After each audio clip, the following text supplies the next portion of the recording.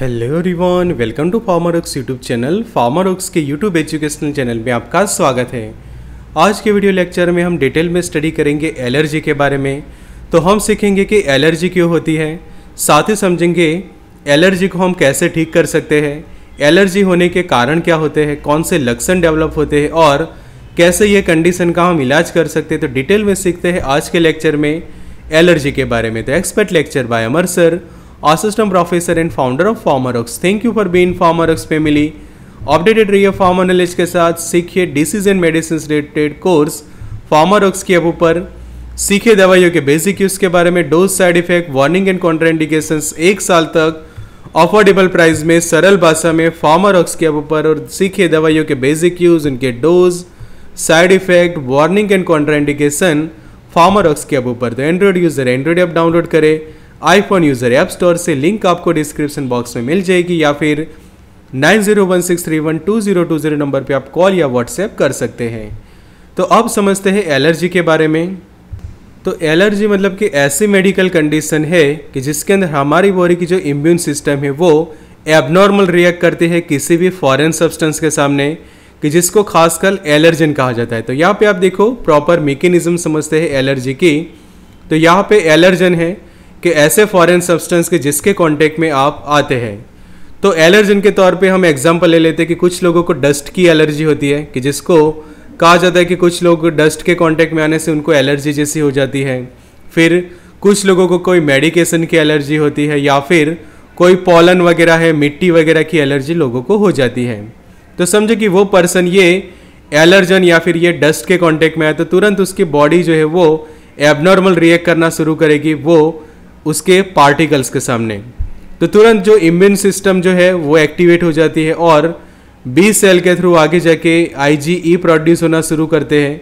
IG आगे जाके mast cell को जो है वो एक्टिवेट करके हमारे बॉडी के अंदर ऐसा केमिकल रिलीज़ करते हैं कि जिसको हम कहते हैं हिस्टेमाइन और हिस्टेमाइन जैसे ही बॉडी के अंदर रिलीज़ होता है तो एलर्जिक रिएक्शंस डेवलप होना जो है वो शुरू हो जाती है कि हमें पता है कि एक ऐसा केमिकल है कि जो एलर्जिक रिएक्शंस के लिए रिस्पॉन्सिबल है। तो खासकर जो मेडिकेशन यूज़ की जाती है एलर्जी के अंदर तो वो ऐसी होती है कि हिस्टेमाइन के इफ़ेक्ट को कम करने वाली एंटी हिस्टामाइन मेडिकेशन खासकर हम यूज़ करते हैं एलर्जी को ठीक करने के। बिकॉज़ ये मेकेनिज्म के तौर पे जो हिस्टेमाइन प्रोड्यूस होता है, उसकी इफ़ेक्ट को हमें कम करनी होती है। तो इसी के लिए एंटी हिस्टेमाइन मेडिकेशंस खासकर एलर्जी को ठीक करने के लिए हम यूज़ करते हैं। तो एक ऐसी रिएक्शंस हमारी बॉडी के अंदर डेवलप होती है कि ऐसे कुछ हार्मलेस सब्सटेंस होते हैं कि जिसको एलर्जन कहते हैं, कि वो सभी लोगों को अफेक्ट नहीं करते। कि आप समझो कि 10 लोगों का सर्वे करें तो 10 में से शायद आपको एक या दो पर्सन ऐसे मिले कि उनको डस्ट की एलर्जी हो। बट बाकी आठ पर्सन अगर डस्ट के कांटेक्ट में आते हैं तो उनको कुछ नहीं होता। रीज़न ये है कि ये एलर्जन जो है, वो हार्मलेस सब्सटेंस होते हैं। सभी के लिए वो एलर्जी प्रोड्यूस नहीं करते, सिर्फ़ उन्हीं लोगों को एलर्जी प्रोड्यूस करते कि उनको ये सब्सटेंस के कांटेक्ट में आने से उनकी बॉडी के अंदर एबनॉर्मल रिएक्शंस देखने को मिलती है। तो जब किसी को एलर्जी होती है तो कौन से सिम्टम्स डेवलप होते हैं, वो हम यहाँ पे समझते हैं कि जब आपको एलर्जी होती है तो कुछ हाइपर सेंसिटिविटी रिएक्शंस देखने को मिलते हैं, जैसे कि एक्जिमा हो जाएगा मतलब कि आपके बॉडी के ऊपर आपको जो वो रैसेस डेवलप होना शुरू हो जाएँगे, खुजली होने लगेगी वहाँ पे, कि यहाँ पे ये वाले डायग्राम में देखो पर्सन को यहाँ पे हाथ के ऊपर, उसकी बॉडी के ऊपर एक्जिमा जैसा फील हो रहा है। फिर ईची माउथ मतलब कि जो आपका माउथ है, उसके अंदर या फिर माउथ के बाहर की ओर आपको खुजली जैसा फील होगा। आपका फेस चेक करो तो फेस के ऊपर आपको जो वो सूजन देखने को मिलेगी। फिर आप जो टंग है, आपकी जीभ है, उसके ऊपर सूजन देखने को मिलेगी या फिर जो लिप्स होते हैं, वो वहाँ पे सूजन देखने को मिलते तो ये कुछ प्राइमरी ऐसे सिम्टम्स देखने को मिलते हैं कि वो आप बाहर से ऑब्ज़र्व करते हैं। फिर इंटरनली बॉडी पे क्या इफ़ेक्ट होती है तो वो ऐसा होता है कि नोजिया वॉमिटिंग मतलब कि उल्टी होती है, जी घबराता है, और पेट में दर्द होता है एब्डोमिनल पेन जो हम कहते हैं। ब्रीथिंग करने में डिफ़िकल्टी होती है मतलब कि सांस लेने में आपको प्रॉब्लम होता है। डिजीनेस जैसा फील करते हैं मतलब कि आपको नींद आती है, उबासी आती है, ऐसा फील करते हैं। और कुछ लोगों को दस्त हो जाते हैं कि जब ये ऐसे एलर्जेंस के कांटेक्ट में आते हैं। तो उसके कारण कुछ लोगों को जो है वो फीवर भी हो जाता है फ़ूड एलर्जिस से भी ऐसा हो जाता है ऑटोपिक डर्मेटाइटिस की जो एक्जिमा की जो कंडीशन है अस्थमा जैसी कंडीशन है, या फिर एनाफाइलेक्सिस रिएक्शन जो हम कहते हैं तो वो सब देखने को मिलती है जब आप एलर्जेंस के कांटेक्ट में आते हैं। तो ये एलर्जेंस क्या है, वो आप समझिए तो एलर्जेंस एक हार्मलेस सब्सटेंसेस कहे जाते हैं। कि जो हमारे बॉडी के लिए फॉरेन सब्सटेंस का काम करते हैं और ये कुछ लोगों के अंदर एलर्जिक रिएक्शंस प्रोड्यूस करते हैं। सभी के लिए वो एलर्जिक नहीं है, कुछ ही लोगों के। जैसे आप देखो कि समझे कि इंसेक्ट बाइट होता है तो इंसेक्ट बाइट के कारण कुछ लोगों को काफ़ी एलर्जिक रिएक्शंस उसके बॉडी के ऊपर डेवलप होने लगती है। फिर कुछ लोग जब फ्लोरेसेंस के कांटेक्ट में आते तो भी ऐसा होता है। फिर आप घर पे कोई, आप पेट वगैरह आपके घर पे और उसके हेयर या फिर उसके बॉडी डिस्चार्ज के कांटेक्ट में आते हैं तो भी कुछ लोगों को एलर्जी हो जाती है। फिर जो हाउस होल्ड डस्ट होती है, कि हमारे घर पे कई बार जो डस्ट जमा होती है वो डस्ट समझो कि आप क्लीन करते हैं, और उस वक्त वो डस्ट के कांटेक्ट में आते तो भी कुछ लोगों को एलर्जिक रिएक्शंस देखने को मिलती है। फिर कुछ लोगों को मिल्क की एलर्जी होती है, कि जिसको लैक्टोज इंटॉलरेंस कहा जाता है, कुछ लोगों को फ़िश मतलब कि मछली की एलर्जी होती है स्ट्रॉबेरी की भी एलर्जी होती है, साइट्रस फ्रूट्स की एलर्जी होती है। उसी तरह से देखें तो बहुत सारे एलर्जेंस होते हैं, जैसे कि कुछ लोग पीनट के कांटेक्ट में आने से भी उनको एलर्जी हो जाती है। फिर जो पोलन्स वगैरह होती है, उसके कांटेक्ट में आने से भी कुछ लोगों को एलर्जिक रिएक्शंस देखने को मिलती है। मोल्ड वगैरह है, कुछ लोगों को एक के कारण मस्टर्ड के कारण फ़ीस है। फिर सोया है नट्स वगैरह है। सीसम के जो सीड है मिल्क सल्फ़र डाइऑक्साइड जैसे बहुत सारे ऐसे एलर्जन होते हैं कि जो वैसे हार्मलेस ही है कि पर्सन ए है समझो, वो समझो कि सल्फ़र डाइऑक्साइड के कांटेक्ट में आते तो उसको कोई भी एलर्जी नहीं होती बिकॉज़ वो हार्मलेस सब्सटेंस है उसके लिए। बट अगर पर्सन बी को सल्फ़र डाइऑक्साइड के कारण एलर्जी हो जाती तो हम ऐसे कहेंगे कि ये पर्सन को सल्फ़र डाइऑक्साइड की एलर्जी है तो उसको ये ध्यान रखना होगा कि वो आगे जाके ध्यान रखे कि वो सल्फ़र डाइऑक्साइड के कांटेक्ट में ना आए। उसी तरह से आपको डस्ट की एलर्जी है तो आप ऐसे प्रिकॉशंस रख सकते हैं कि जिससे आप ज़्यादा से ज़्यादा कम डस्ट के कांटेक्ट में आए। तो एलर्जी के हम कोजेस देखें रीजंस वगैरह देखें तो जब भी आप कोई ऐसे एलर्जिक सब्सटेंसेस के कांटेक्ट में आते हैं तो ही आपको एलर्जी होती है। जैसे कि स्किन से कांटेक्ट होता है कि किसी पॉइजनस प्लांट के कांटेक्ट में आप आ जाते हैं। कुछ लोगों को लेटेक्स रबर की भी एलर्जी होती है तो उसके कारण भी प्रॉब्लम होता है। एनिमल के जो डेंडर्स होते हैं, उनके कारण भी आपको एलर्जी हो सकती है। कुछ लोगों को ज्वेलरीज की भी एलर्जी होती है कि किसी को समझे कि गोल्ड की एलर्जी हो जाती है, किसी को सिल्वर की एलर्जी हो जाती है, प्लेटिनम की भी एलर्जी होती है। तो अगर वो ऐसे ज्वेलरीज पहनते हैं तो कुछ समय बाद उनकी बॉडी के ऊपर एलर्जिक रिएक्शंस डेवलप होना शुरू हो जाती है। फिर इंजेक्शंस मतलब कि आपकी बॉडी के अंदर समझे कि मिल्क आप लेते हैं तो भी कुछ लोगों को एलर्जी हो जाती है। मेडिकेशंस के कारण भी हो जाता है कि कुछ दवाइयों की कुछ लोगों को एलर्जी होती है। मतलब कि पाँच लोग आप समझे कि वो मेडिकेशन यूज़ करें और उनको कुछ नहीं होता तो अगर छठा पर्सन उसको यूज़ करे तो उसको वो मेडिकेशन से एलर्जी हो जाएगी। तो उसका मतलब ये है कि वो पर्सन को, वो मेडिकेशन की एलर्जी है तो वो ध्यान ये रखेगा कि आगे जाके जब दूसरे टाइम वो मेडिकेशन यूज़ करनी है तो वो कम्प्लीटली उसको एवॉइड करेगा। फिर कुछ लोग जब नर्स वगैरह के कांटेक्ट में आते हैं या फिर सेल के कांटेक्ट में आते हैं तो भी उनको एलर्जी हो जाती है। इंजेक्शन के थ्रू कुछ लोग मेडिकेशन ले तो भी हो जाता है, या फिर जो मधुमक्खी के जो बाइट से कि मधुमक्खी आपको काट लेती है तो भी कुछ लोगों को एलर्जिक रिएक्शंस डेवलप हो जाते हैं। फिर इन्हेलेशन मतलब कि आपके ब्रीथिंग के थ्रू ये एलर्जेंस आपके बॉडी के अंदर जाते हैं जैसे कि पोलन्स वगैरह है डस्ट वगैरह है मोल्ड वगैरह है, या फिर एनिमल के डेंडर्स भी आप, आपके रेस्पिरेटरी ट्रैक के थ्रू आपके बॉडी के अंदर एंटर होते हैं और आपको एलर्जिक रिएक्शंस डेवलप करते हैं। सिम्टम्स में हम देखें तो एलर्जी आपको होती है तो बॉडी के ऊपर आपको रेसिस डेवलप हो जाते हैं। लेक्रीमेशन मतलब कि आँखों से पानी आना शुरू हो जाता है। स्नीजिंग एक प्राइमरी मतलब कि तुरंत ही आपको छींक आ जाती है स्नीजिंग हो जाती है। रनी नोज़ मतलब कि नाक में से पानी आता है, आँखें लाल हो जाती है और पूरी बॉडी के ऊपर खिजली होना शुरू हो जाती है। तो ये एक सिम्टम प्राइमरी डेवलप होते हैं।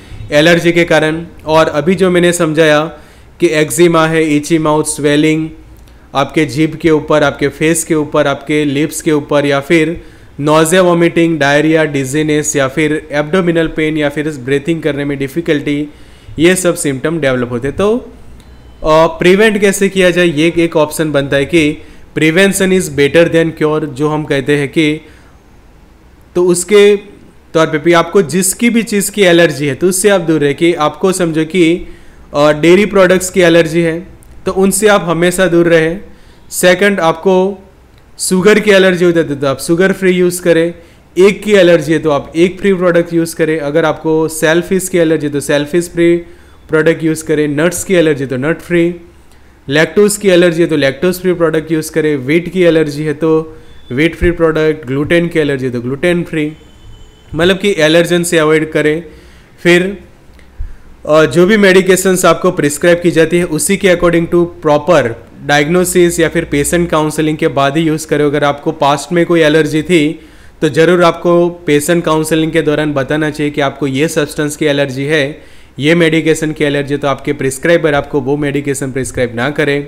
फिर और साथ में आपको ये ध्यान रखना है कि जो कुछ ऐसे एंटीडॉट्स होते हैं, जैसे कि एपिनेफ्रिन है, कि एपिनेफ्रिन के जो ऑटो इंजेक्शंस आते हैं, वो भी आप साथ में रख सकते हैं। अगर आपको ऐसा होता है कि अचानक से ऐसी एलर्जिक रिएक्शंस हो जाते हैं कि जो जानलेवा हो सकते हैं, कि जिसके कारण एनाफाइलेक्सिस हो जाता है तो एक एपिनेफ्रिन जो मेडिकेशन है, वो आप यहाँ साथ रख सकते हैं ऑटो इंजेक्टर्स जो उसके होते हैं।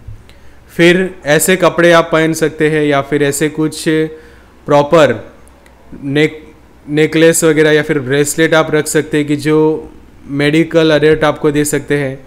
कपड़े इस तरह से पहने कि आप मतलब कैसे एलर्जेंस के कांटेक्ट में कम आए। और मास्क वगैरह पहन सकते हैं ग्लव्स इस तरह से पहनिए आपके, जिससे आप एलर्जन से जो है वो बच सकते हैं। तो आगे अब बात आती है कि एलर्जी के लिए कौन से मेडिकेशंस यूज़ किए जाते हैं।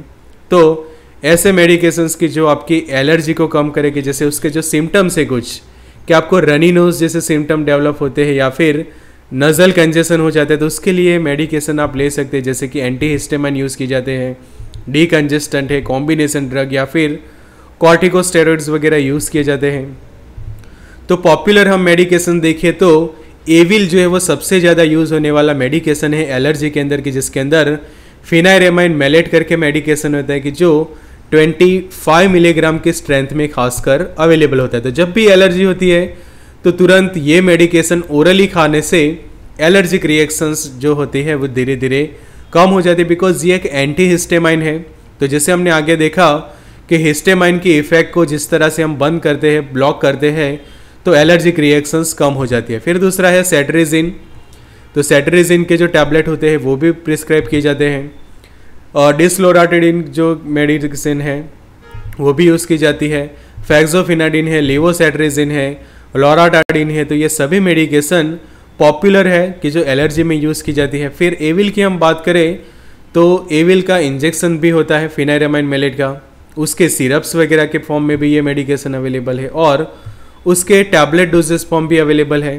तो जब भी ये मेडिकेशंस आप लेते हैं तो एलर्जिक रिएक्शंस के जितने भी अलग अलग सिम्टम्स होते हैं, वो तुरंत वो ठीक करते हैं जैसे कि स्किन के ऊपर आपको रेसिस हो रहे हैं इचिंग हो रही है मतलब कि खुजली हो रही है स्किन के ऊपर रनी नोज़ मतलब कि नाक से पानी आ रहा है, काफ़ी हाई फीवर है।